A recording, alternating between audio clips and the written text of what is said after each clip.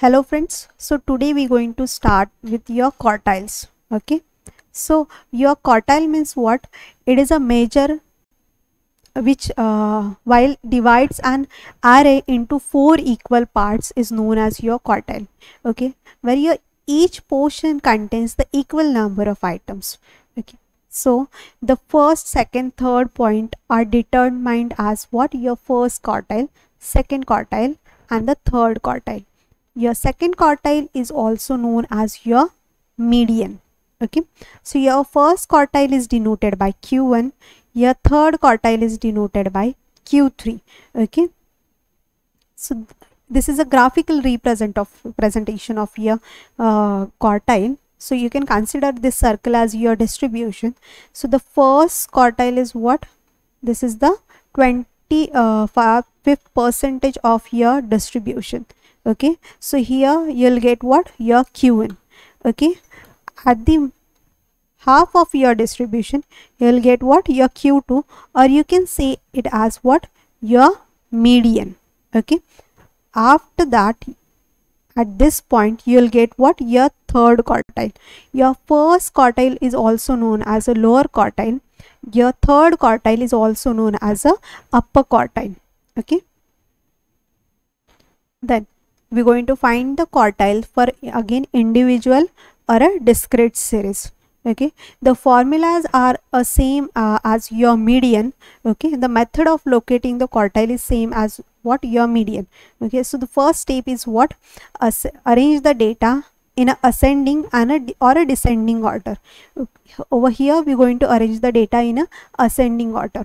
Find out the cumulative frequency and then apply the formula so this is a formula for your first quartile and this is a formula for your uh, third quartile. Okay, you can refer it as what? Lower quartile or a Q1 and for third quartile you can refer it as what? Upper quartile or a Q3. So the first quartile formula is what? Size of n plus 1 divided by fourth item okay? Here you will get what? The position of the data item which is going to lie at the q1 position okay? So using this formula you'll get the position of the data item. Again for the third quartile it says what? The size of 3n plus 1 divided by fourth item okay? So for the quartile your whole distribution is divided into this part. So you can consider this part as what? One fourth okay? The ha uh, half portion is considered as what 1 by 2 okay? And the third portion is considered as what? 3 by 4th okay? So the first uh, first part of your uh, distribution this is what? The half and this is what? 3 by 4 that's why here we divide n plus 1 by what? 4 that is what? 1 fourth part. And third quartile by 3 by 4 okay? Because it is a third quartile okay? Here we will get what? Position as I told you same as your median it is what? A positional averages. Okay so this is the example of uh, your first quartile and third quartile. This is for the individual data. Okay this data is what? Individual. So the data are like 2 4 6 8 10 12 14 16 18 20 and 22 okay so first we going to write down our formula for q1 so the q1 is equals to what? Size of n plus 1 divided by fourth item. So your n is what? Number of observations. So how many observations are there? 11 observations are there right? So 11 plus 1 divided by fourth item. Okay so the 11 plus 1 is what? 12 12 by 4 is what? Third item.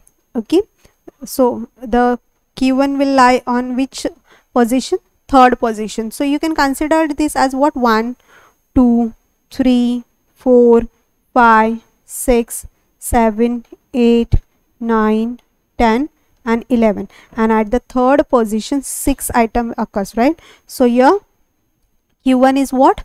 6 same way we're going to find the q3 so the size of 3 n plus 1 divided by 4 so n is what? 11 so 3 into 11 plus 1. So 11 plus 1 12.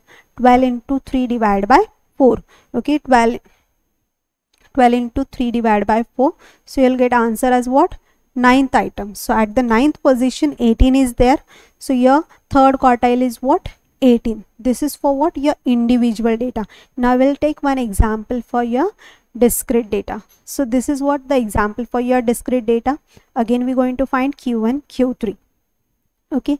So in a shop you can consider that uh, of size 4 10 pairs are available. Of size 0.5 18 point uh, pairs are available. Likewise you have a data. This is what your discrete data. Okay. For discrete data first we need to find what? Cumulative frequency for the discrete data we're going to find what? Cumulative frequency. Okay? So as you know here we found out what? Less than cumulative frequency. So we're going to write the first frequency as it is. So 10 10 plus 18 28 28 plus 22 50 50 plus 25 75 likewise you're going to find cumulative frequency. This is what your less than cumulative frequency again now we're going to apply the formula. Okay as i said here over here for the discrete series your n will be what? Summation of frequency. n will be what? The summation of frequency. So the summation of this frequency is what? 155 okay so 155 plus 1 divided by 4 that that is what? 39 item okay now where to find this 39 okay so to find 39 we're going to find what? 39th item. Okay now see how to find this. So the first cumulative frequency is what? 10 means what? Up to uh, size uh, size of shoes what? 4 you have only 10 pairs. Okay then 10 then 4.5 you have 28 okay? Then 5 50 so it ends at what? 28 so your 23 lie will lie oh in this line okay? So it is actually from 0 to 10 right?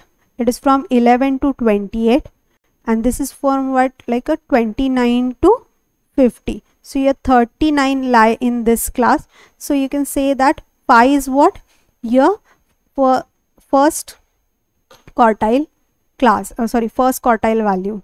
Okay? So again we're going to apply the formula for q3 so 3 n plus 1 divided by 4 okay so 3 n plus divided by 4 so you know all the values we're going to put all the values. After the calculation you'll get the value as what? 117 now how to find 117 so over here your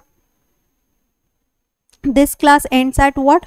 76 till 115 okay so the next class is starting from what? 116 till what 130 so the 117 will lie in this class. So the 6.5 is what? Your third quartile. Okay? Then the next uh, your continuous series. Okay? In the continuous series uh, again we're going to represent the data into the classes. So these are the steps. Okay? For the q1 the steps are what? Find the cumulative frequency. Same way this is for your q1 this is for your q3 in q1 we're going to find the cumulative frequency. In q3 also we're going to find the cumulative frequency. Second step is what? Find out the first quartile item using n by 4 okay because we are finding what? Q1 here we're going to find using what? 3n by 4